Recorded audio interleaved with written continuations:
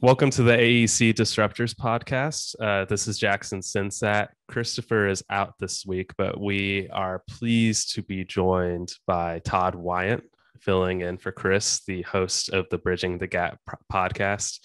I should say the award winning Bridging the Gap podcast. And we are also pleased to be joined by Rene Morkos. He is the founder of Alice Technologies, and he is also an adjunct professor of construction management at Stanford University.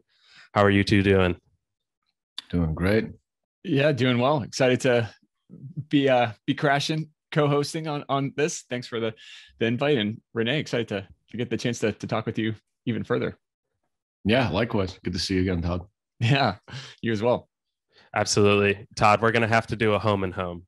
You know, That's right. that, that way we can return the favor. Um, I like it.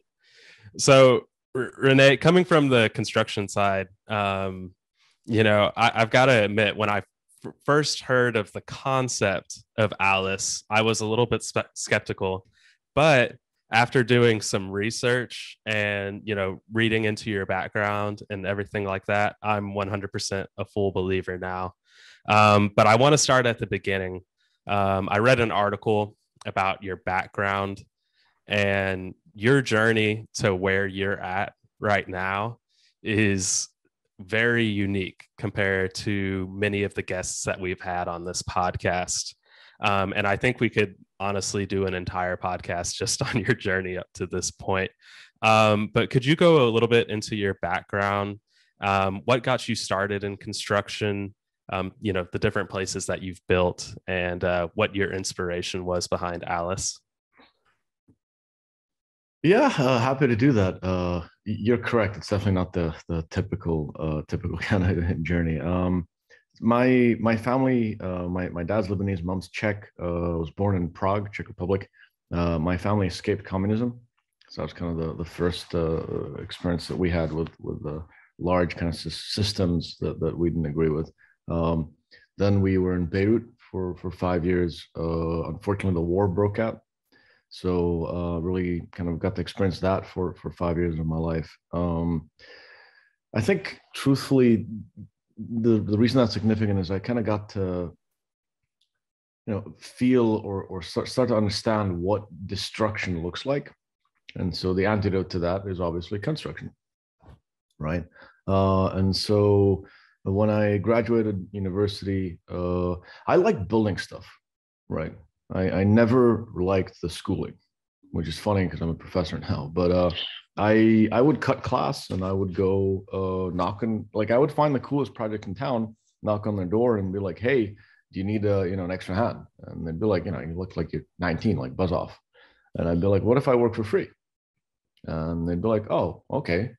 Uh, and then usually at the end of the month, I'd ask them for a little beer beer money, right? But um, and the cool thing was that I got to hand select like the cooler jobs in town, like an underwater sewer pipeline. They were building university, you know, and so um, first job I took, I kind of went back to a war zone, right? So I went to Afghanistan uh, to re- help rebuild the country, and you know, it's, it's sometimes like I'm, I'm uh, like I wish that we were back in the the like the golden era of, of construction of civil engineering, right? So around like the, the late 1800s, early 1900s, right? Where like civil engineers were really pushing back, you know, or helping grow civilization, right?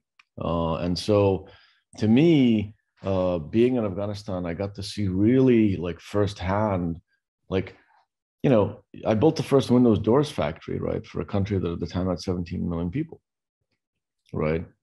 Uh, every little thing you do um, impacts the, the world around you, and very few things have the ability to impact the world like civil engineering, right? Civil AEC, in our, our field. Uh, if you look at, for example, one of the statistics I kind of like to remember is there's a graph of, of cholera outbreaks, and I think the city was Chicago, right? And you kind of like saw these cholera outbreaks, which were in the tens of thousands, right?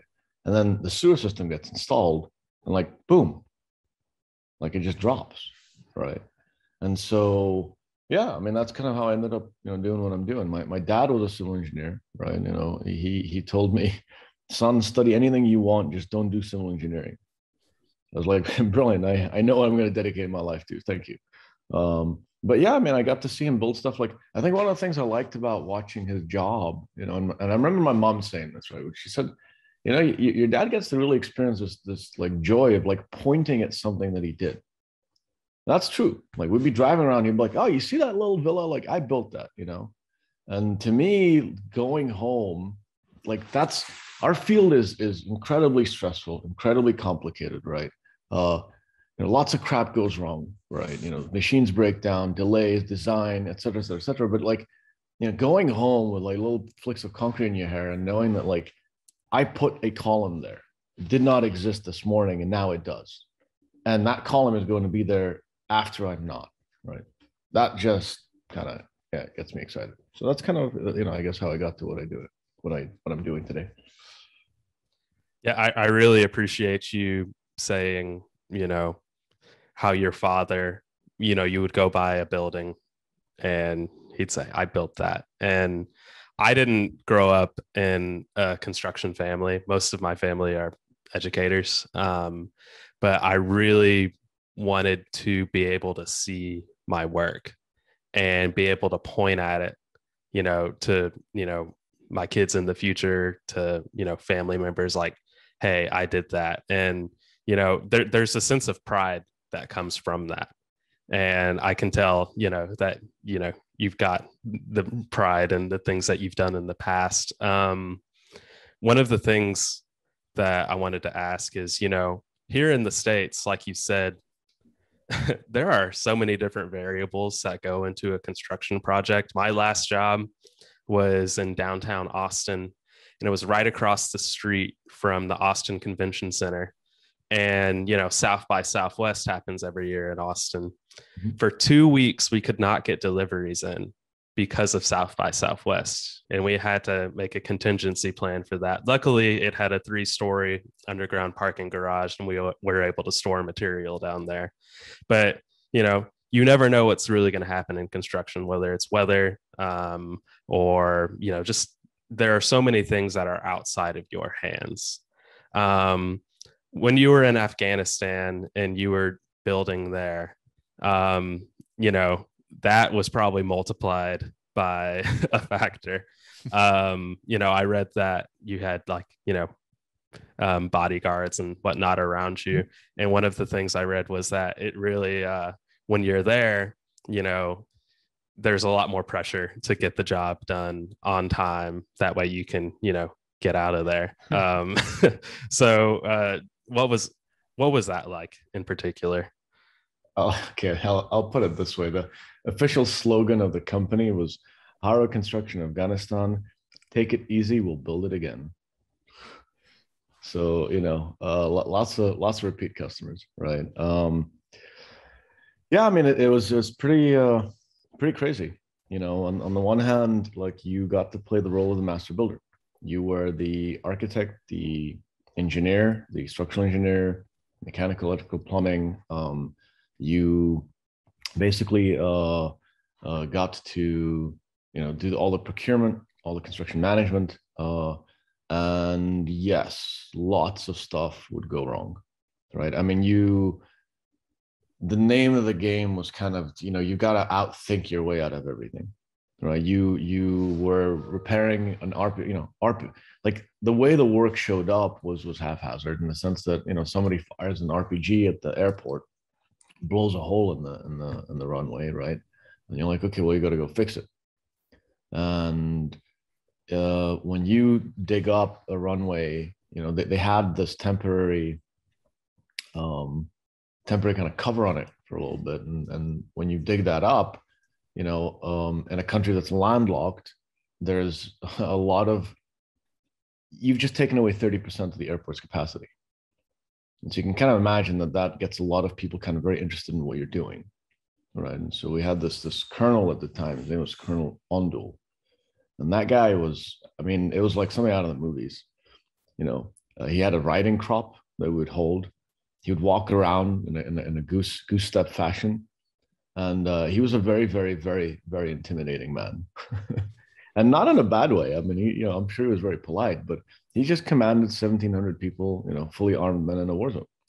And so he wanted his darn taxi, you know, darn X-ray runway fixed, right?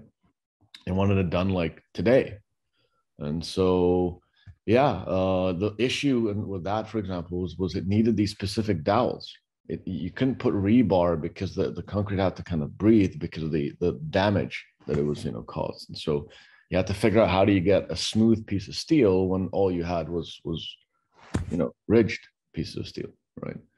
And so you know we ended up having to you know run this by you know their central command in Germany. We had a, specific kind of um, you know design proposal of how we're going to get around it, right? But um, you know all kinds of stuff happens, right? You know somebody shows up in your construction project with a machine gun, right, and decides that you need to stop working, right? Um, you find like I remember being in a meeting and this dude walks in with a rusted grenade that he found outside. You know, I mean, that definitely gets your attention. You're like, mate, like, is there no way you could have left that outside like before? Like, seriously, you know, like, no, I, I really don't need to see it. Right. like, uh, so yeah, you know, you you know digging digging right i mean you know here in, in, in, the, in the in the in the real world the normal world right you you you're worried about hitting a, a, a pipe of some sort, right? Over there, you're worried about hitting a landmine, you know? And so, yeah, I mean, lots of lots of stuff goes wrong, and you're really pushed very, very hard to think up solutions. Like you forget a screw, literally like a bag of screws, and it will take you three months to reorder it because there is no market, right? And so you get really, really, really good at planning which is kind of funny because I ended up, you know, building a planning company. But you get really good at, at, at figuring out like, you know, which crews do you order? Like you forget something, you know, the other option you have is you got to, you know, talk to the airline pilots, which you're all friends with, to bring it in the personal luggage. So you can kind of imagine that kind of limits what it is that you can kind of, you know, bring into the country, right? And so, so that's that was kind of you know the the, the challenges of it. Um, but on the on the flip side, right, like you have this incredible freedom to like go build right? Like the stuff that you're doing is having like day-to-day impact. We built the first professional construction marketplace right in, in kabul right? Like you literally have real world impact every day right? You I build offices for this you know generating you know power generation company right? Um you know, military base right? I mean that that changes things substantially right? So um yeah very challenging environment, rapidly changing, right? Lots of stuff thrown at you every day. Like, you know, I mean, literally you wake up at, you know, 5 30 in AM and you're just 20 minutes in, you're you're on the call, right? This happened, that happened, this changed. Uh, you know, the, the quality, you know, supply chain issues, right? You know, supply chain isn't isn't great, the quality issues and so on and so forth. So yeah. But it it it's extremely rewarding and it definitely teaches you to to think on your feet, you know. Yeah, I can imagine. Uh, so I, I really like the the line that you used earlier on seeing all the destruction mm-hmm. in in your past made you want to go the opposite way in construction. Uh, how do you think those experiences really kind of shaped your view on the potential of technology for this industry then? That's a great question. I mean, you know, it's, it's definitely it, right? I mean, it, it, there's definitely something to being in a war zone where you're the antidote to what you see around you, right? Yeah. It, it's really clear to you that like no i'm not part of this whole thing that, that i'm watching. I'm part of building solution building stuff you know around me right? Um in terms of you know how, how technology helps like technology in itself helps us. The, the thing that technology does in, in, in, in my eyes is it enables what wasn't possible to be possible. Right? Mm-hmm. and it usually does this by you know reducing the effort required to do it. Right that's what it usually does. And so, um, you know, I can generate lots of solutions. I can generate lots of options. I can, you know, find, you know, crunch problems, you know, of, of bigger sizes, bigger complexities than I've been able to do. Right. And so technology, you know, in my mind enables us to do what we couldn't do before and it enables us to, to build in, in better ways than we've been able to do before. Yeah, I, I think that's really interesting because you had said the line earlier too of yeah, it kind of required you to you had to outthink your way out of something, something to that effect. Yeah. Um, so technology then really comes in and, and really helps enhance you your ability to outthink yourself because obviously the the human mind can only think of a you know a certain finite number of options but technology is a, such a big force multiplier that you can think of any option possible really through uh you know if, when you are able to harness and leverage the right technology. Yeah it's it's kind of what we're seeing it's it's not so much ai as ia right? It's not so much artificial intelligence as intelligence augmentation right? And you'll mm-hmm. you'll see that over and over again right? What the machines enable you to do is kind of it's a multiplier of your of your inherent knowledge or ability or skill set right? And if that knowledge is zero then the technology is is really going to multiply that zero for you right so um uh, one of the other things that i read is you know on one of your first jobs um, and i believe this was you know after you had already left afghanistan um, you notice a lot of inefficiency going on, um, whether that be where materials are placed or, you know, just, you know, people seeming to have a lot of downtime. I know a lot of people like to say that about um, road construction. Every time I see the workers, they're just hanging out. Um, but you actually placed a camera on the job site mm-hmm. and to kind of try to help measure, you know, how efficient things were going. And um, I believe the number was real work was only occurring about 3% of the time. Yeah. Uh, yeah. Could yeah, you could so, you speak a little on that? Yeah, so it, it, uh, we were building the the cruise ship terminal uh, in Amsterdam, right? And so I'm in this this meeting, and the darn thing is six weeks late, right? Fifty thousand euros a day, right? It was a $15 million job. So you can imagine like the, the mood in the room, right? You know, Dutch folks are generally very sort of reserved and quiet, but there's there's some yelling going on. And so, you know, as this, is happening, I'm like, well, I, I just I don't want to be seated, seated seated at the table at the time, right? Because the, the the, the mood in the room is really kind of off the charts. So I sort of get up and I walk over to the window and I look out of the window and this this guy's like, look, I can't work any faster. I can't work any faster. I'm doing what I can. I look outside and I notice a hundred thousand square foot of space, six people standing in it. So I'm like, wait, holy cow! Like, it's empty. And I realized like every other construction project I've ever seen, right, has been empty. Right. So it's like you know, when I looked at my projects in, in, in Kabul, when I look, like, I remember, you know, my boss coming to, to kind of, you know, take a look at what we're doing. I was like, oh, wait, um, there's, uh, like, it doesn't look like we're doing much, even though I've got 60 people out there. Right. But if you wander around, there's just lots of empty space. And so, you know, take a look at any construction project, drive down the road and literally pick one. Right. If you take a look at a construction project, what you'll notice is there's a lot of empty space. Right there's a couple of pockets of work, but lots of empty space. And so we're like, okay, well, let's measure that. And so what we did was we basically took photos every 22 minutes of projects, right? And uh, what we measured was bays, you know, the space between four columns. And so we, you know, all we did was we said, hey, is there work occurring or not? And the truth of the matter is, is that the number was so low that we, we we just started measuring if there's anybody there, right? Forget if they're working or not right? Because it was 3%. So we, we you know, I ran the experiment in, in Amsterdam, right? And I was like, whoa. So then we ran it twice here in the US on, you know, very you know, high profile jobs, right? Like jobs where you know, top names in construction, you know, GCs that are, you know, household names were working.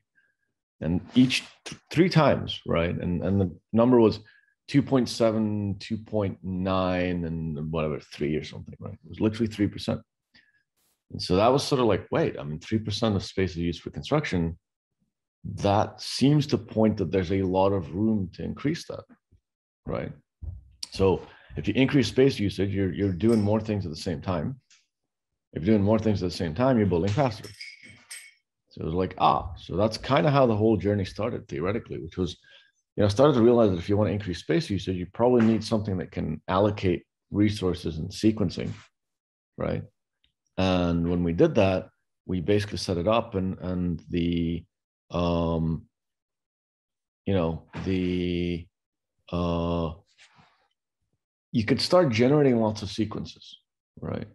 And when when you know, I remember showing this to you know my PhD advisor at the time, and he sort of looks at it and says, "Look, this is great, but you got to validate it with the the project manager. You got to validate it with the the person that actually built this. You know, that's the I got to handle. That's the thing about Stanford. It's always like extremely industry focused. And so I remember saying like, yeah, but this guy's in Amsterdam, and the response was, I don't care if he's on the moon, get it validated.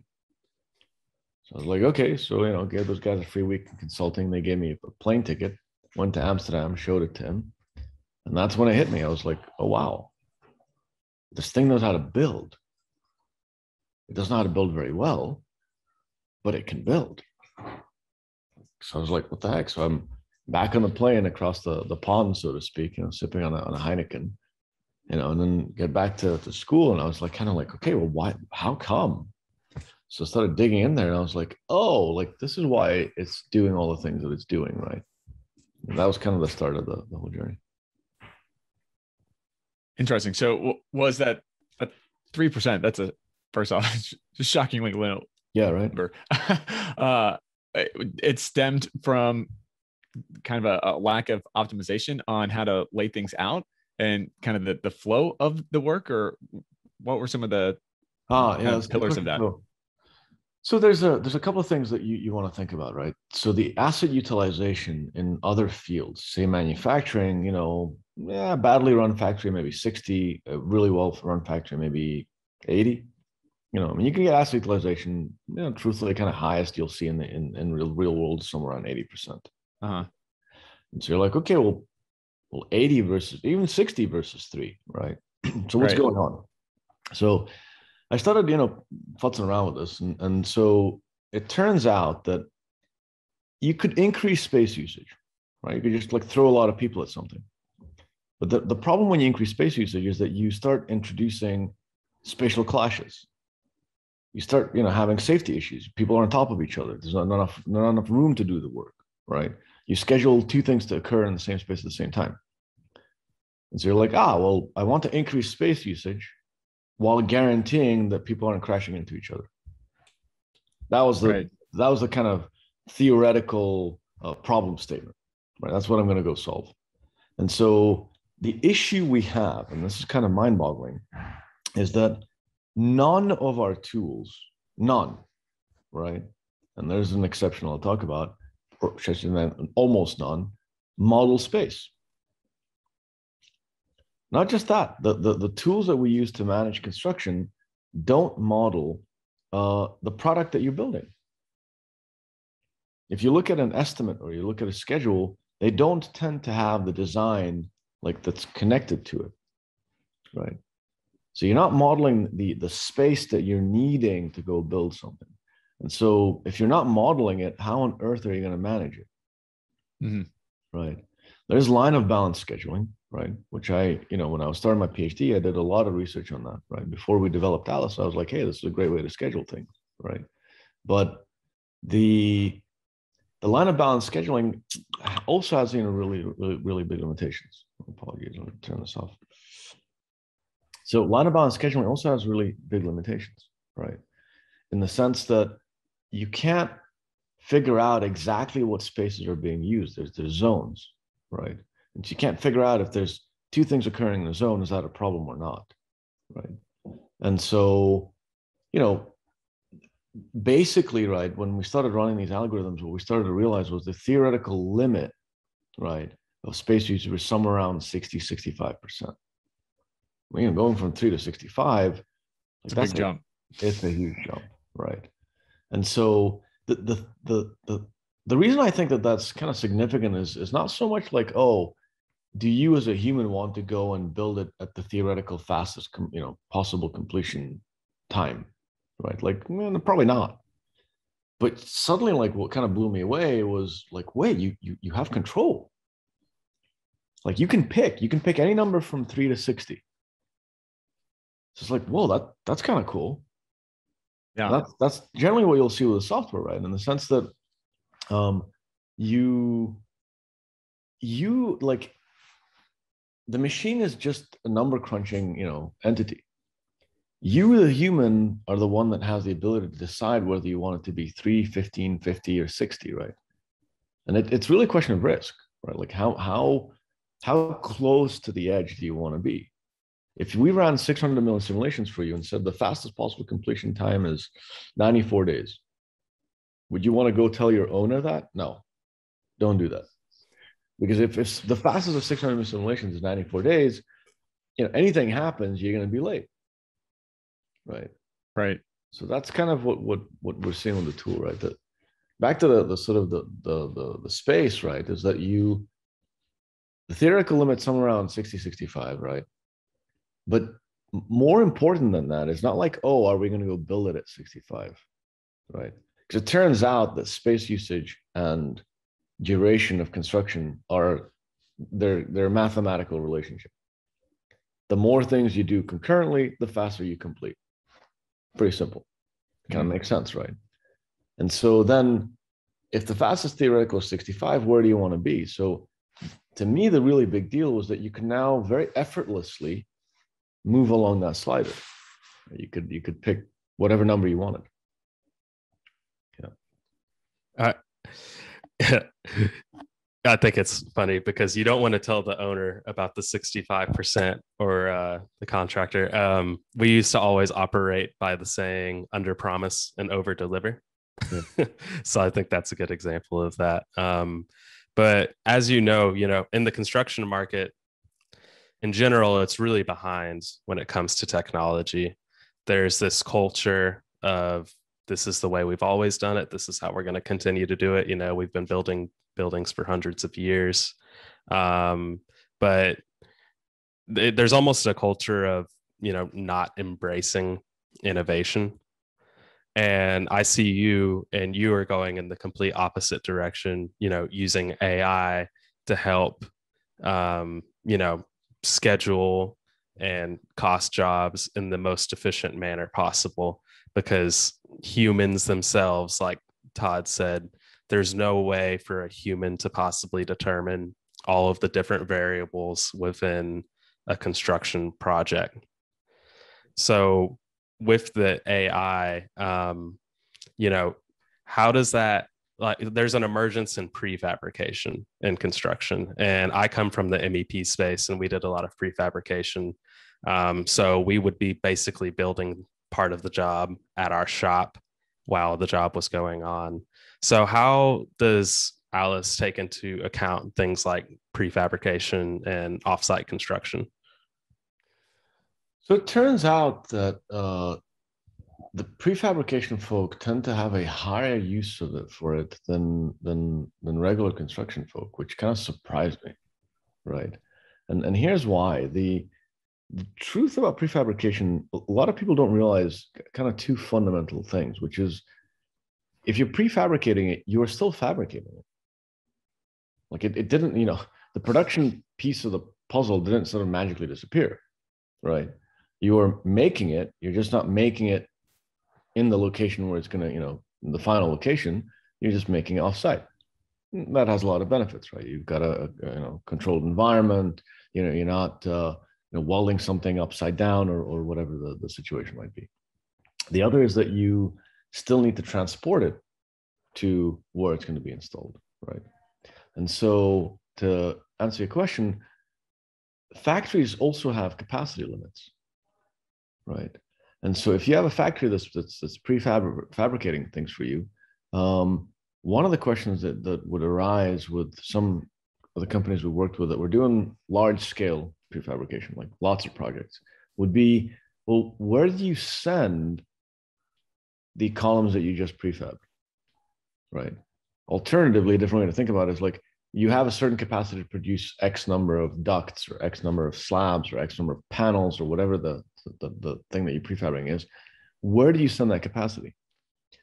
Because ultimately, you, you'll what you'll start to see is that you will the, there is usually some blend of prefabricated and you know uh, cast you know uh, in situ construction, right?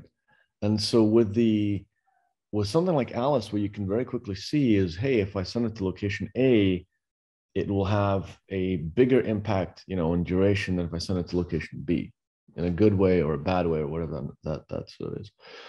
Another thing that you'll see is that if there's an issue in the factory, right, or if there's an issue with delivery, right, or weather, or whatever the the the, the, the mitigating, you know, the, the the delaying factor is, the way to mitigate it becomes a lot easier with something like what we've developed, right?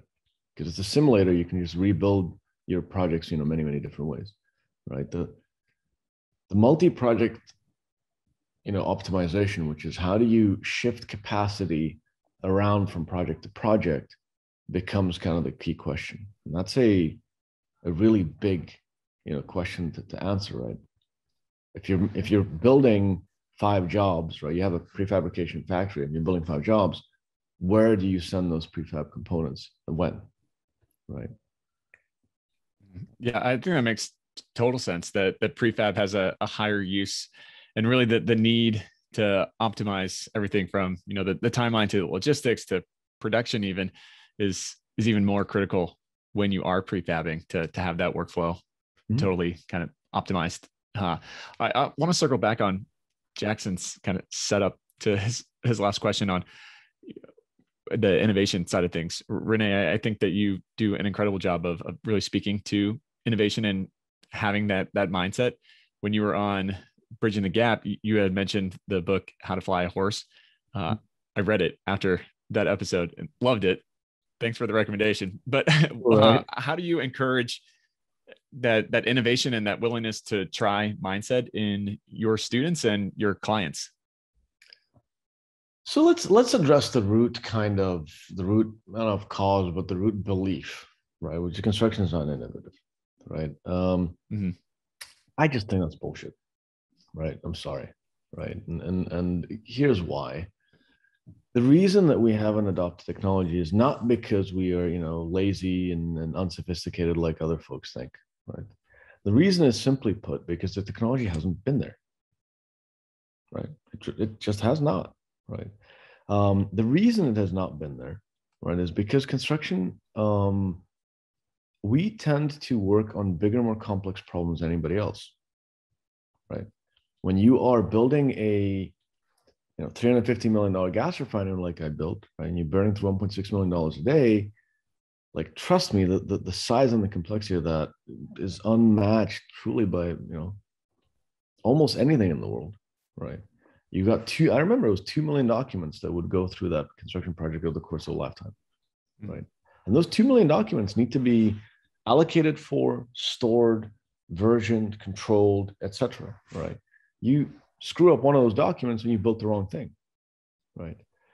So the truth is that it's been really easy to digitize other fields or sorry i should say it's been easier to digitize other stuff. And if you look at how the digitization kind of has worked and one of the first things was finance right? And i like to use that as an example because it, it should be relatively easy to see that digitizing a bunch of numbers that sit in an account and then appear in another account you know it's a subtraction like that's relatively easy to digitize right digitizing a construction project you're like oh well the first thing we need to do is digitize design, right?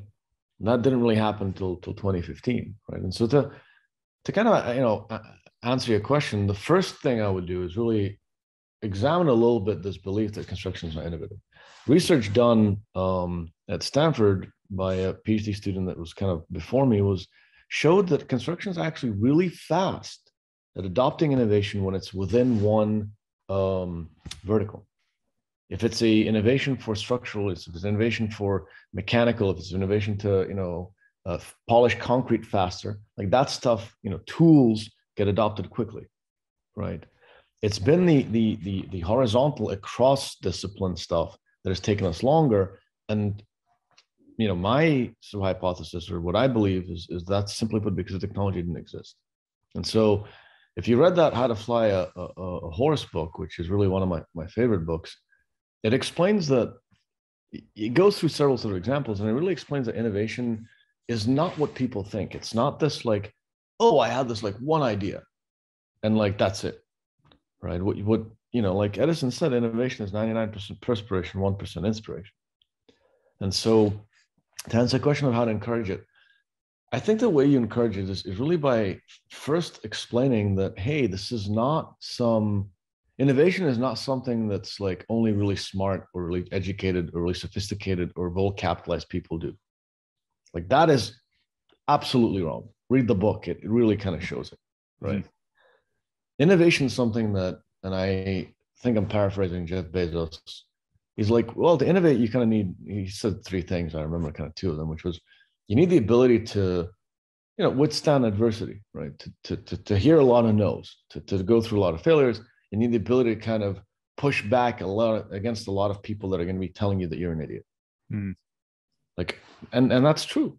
And the the the thing about it is that by definition, right, it's going to be something that's not the most pleasant journey. And by definition, there's going to be rewards when you get it right.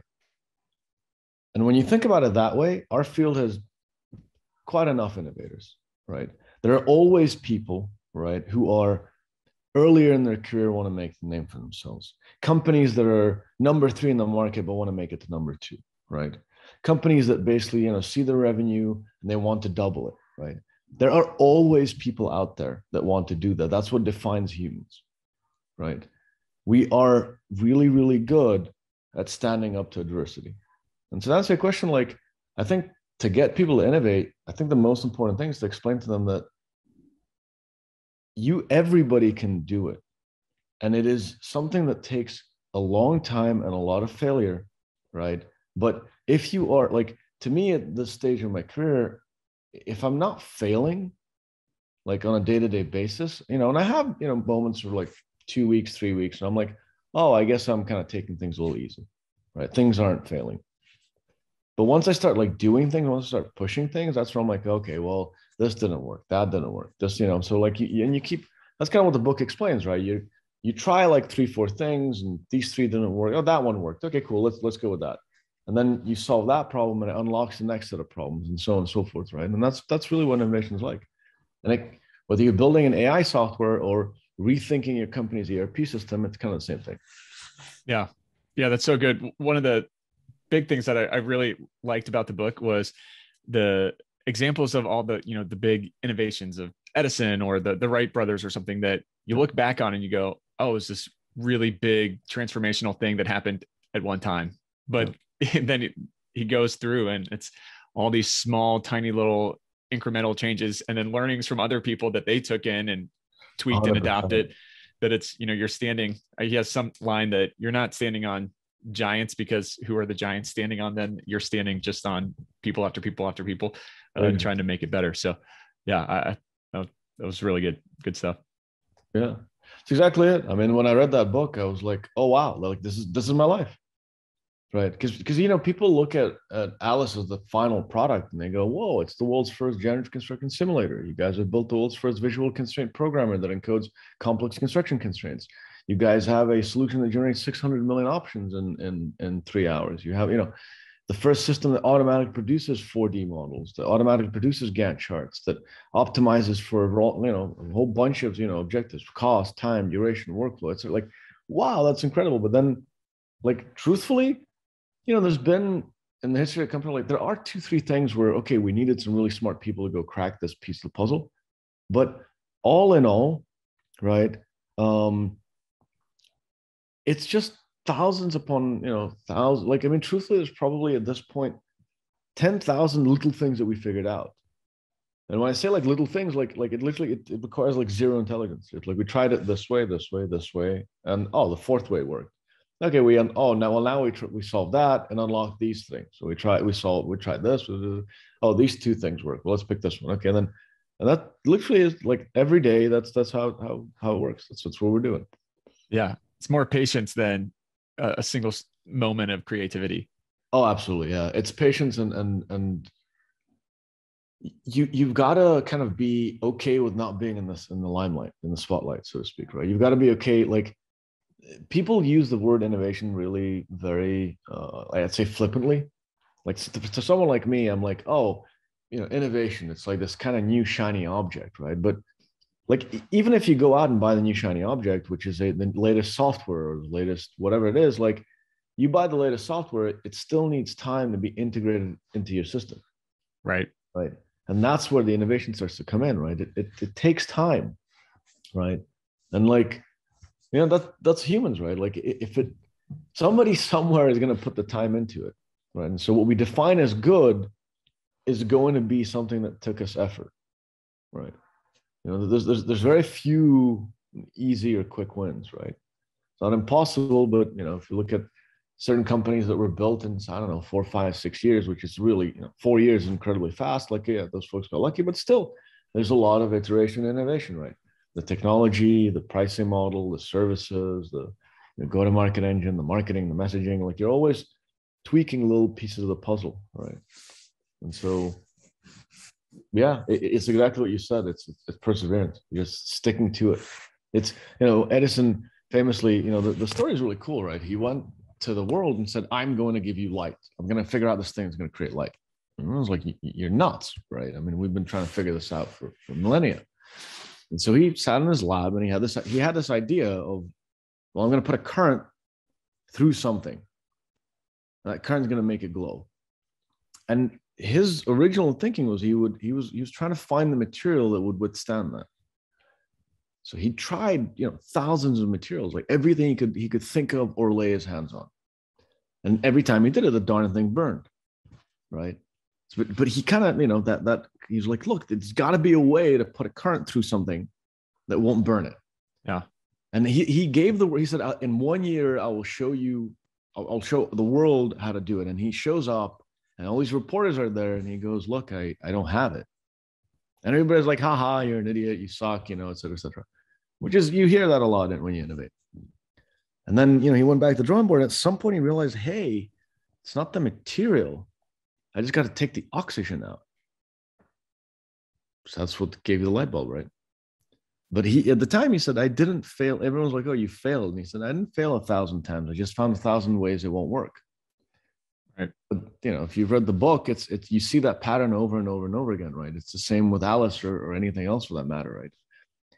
and and it's remarkable when you look at like the reason that that book is fascinating is you you read it and you look at these incredible household names right you're like well that guy must have been an absolute genius right and then you realize like no he's doing it the same way i would just like it. the rest of us just like the rest of us you know he's just and uh, einstein said we wouldn't call it if we knew what we were doing we wouldn't call it research right?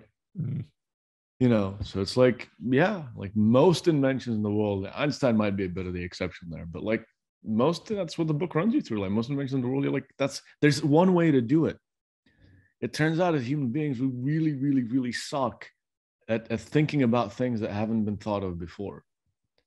And so we we like that's the thing that i've learned. There's a huge difference between doing known and unknown stuff with known stuff we can make these huge leaps right? We're like, oh, I, I know how long it's going to take. I know exactly what I need to do. I know how to think about it. I know how to, you know, crunch it. With the unknown stuff, you kind of take these little, little hops into the unknown and you're like, oh, that one worked. And there's just kind of no other way to do it. Rene, I really appreciate your pushback on my, you know, statement about innovation and construction because as you were going through your explanation, it made me think, and it made me think of my past experiences in the industry you know. Every construction project is different you know. It's a unique unique undertaking. No two construction projects are going to be the same. Even if you're building you know a big box store there's going to be differences in the first one you built compared to the second one you built. There's going to be different challenges. Um and you know with that uh sorry i'm having a blank. So, um, in terms of you know innovation and construction, um, you know, you mentioned how the technology hasn't been there, and another challenge that we face within construction is you know the labor shortage, both with skilled labor as well as you know people and management. So we need to be leaner um, and we also need to be able to attract the new generation. I, I, consider a lot in the new generation to be visual learners. You know i personally played a lot of video games and i'm sure a lot of people still do. Um, and when i see your product um, it's very visual it's very easy on the eye and it's cool because you can see um, how the project is, is going to go together in the most efficient way. Um, so with that and you know where you've taken the product what do you think is going to be the next big thing in construction. What do you think the new frontier might be? question. The next frontier. Uh, I'll, I'll tell you where where I think it is in, from research perspective. So I think that the the bleeding edge of construction today is semantics, right? And, and here's what I mean by that. A lot of the, the construction industry is getting digitized. So come like we, for example, digitize the process itself, the simulation, the optimization. Like how does it get built? Right? We have a system that builds it for you, you know, 10,000 different times, right? You know, another question, right, or, or other part, other people are, are digitizing you know, procurement, supply chain, timesheets, you know, so on and so forth, right? I think a lot of people don't realize that that as as much as we digitize construction, there's still the real world. Uh, the, the bricks still go on top of each other. And so those two worlds, the digital world and the construction world, need to communicate.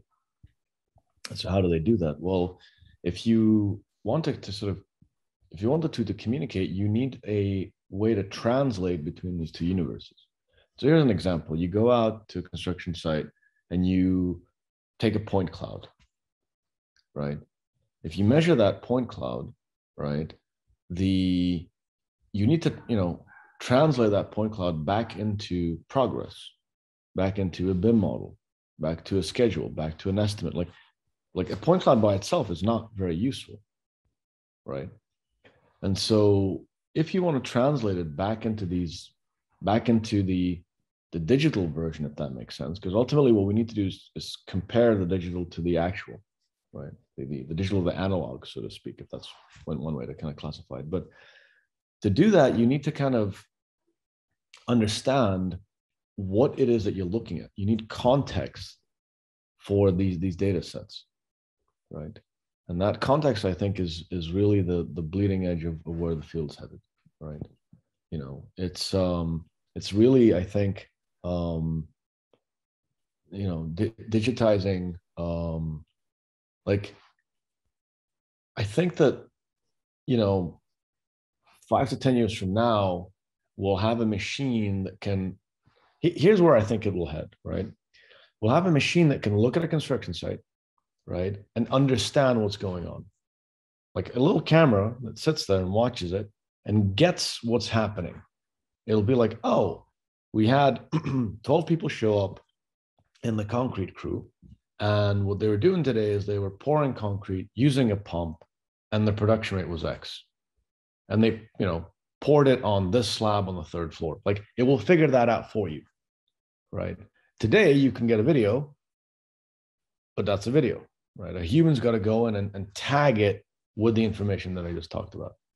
And so that semantic tagging or coding, I think, is going to be the next big deal.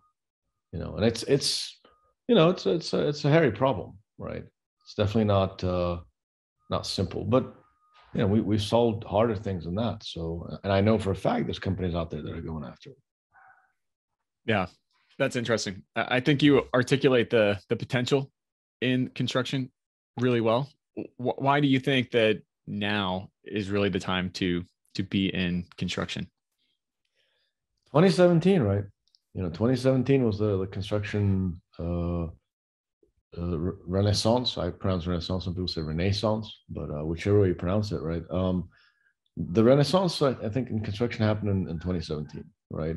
What's happening in construction today, what's happening to construction today is what happened to manufacturing back in the 70s and 80s right the basically you know sometime in 2017 the, the vcs kind of woke up and there's this kind of like collaborative mass realization that like wait a minute the tech's caught up the, the problem that we faced thus far and that's the thing it's it's not that we've been like lazy it's just the tech sucked like you know think of BIM it's a great example when if you read the literature, right, people were talking about BIM back in like 85, right? And that's 45, 87.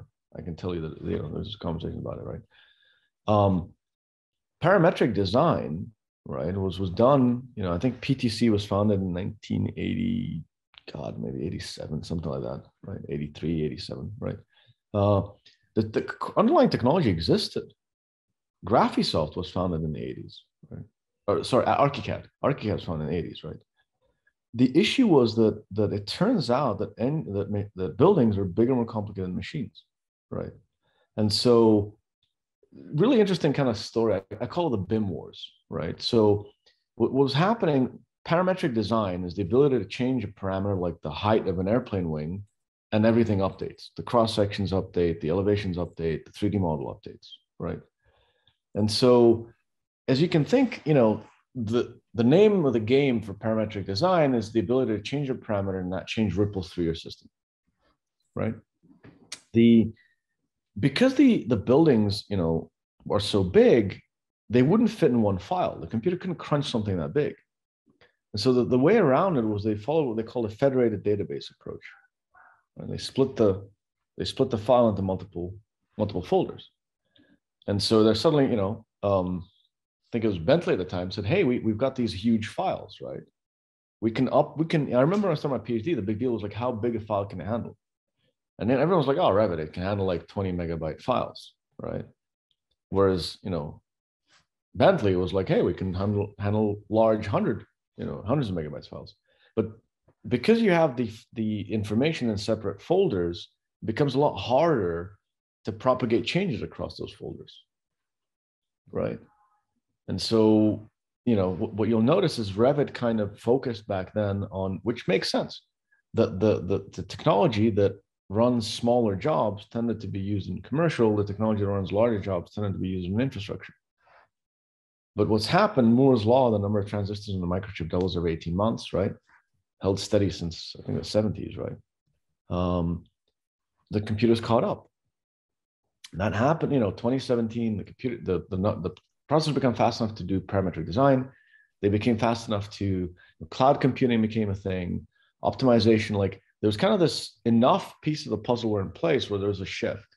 And if you look at the funding, right? Um, I actually looked it up and I, I now have the numbers. It went from somewhere around like 60 to, to 98 billion, right? Not exactly doubling, but a pretty, pretty large jump. Mm-hmm. So a lot of money got poured into construction tech And suddenly what you had is these startups, right, which are effectively, you know, everybody's R&D departments. That's why we exist, right? So suddenly you had access to a thousand research and development departments around the world that were doing research for you. And they were not just doing research, they were raising millions of dollars to do that research and then selling you the output at like 50, 100 grand. Kind of, kind of crazy, right? So that's you know what, what what happened. That's why suddenly there's been a change. And, and anybody in construction that, that's kind of you know seeing this is, is aware of the fact that this field is is changing very very rapidly. Right. Yeah. Nice. Rene I know we could talk about this for many hours, but I think we're, we're going to go ahead and wrap up. I really appreciate you taking the time to join us. I know I learned a lot. And Todd, Thank you for filling in for Christopher. Anytime. Absolutely. Thanks so much. Really great to see you guys. Thanks for having me. Yep. Thank you. Yeah. Thanks, Rene. So I'll just click stop.